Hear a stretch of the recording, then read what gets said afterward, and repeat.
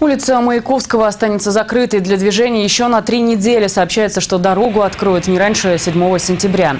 Сейчас там идет ремонт теплотрассы. По этой причине проезжая часть была частично перекрыта. Но работы затянулись, и людей просят потерпеть неудобства еще чуть-чуть. Напомню, ремонт изменил работу общественного транспорта. Новые маршруты разработаны для двух троллейбусов, второго и шестнадцатого.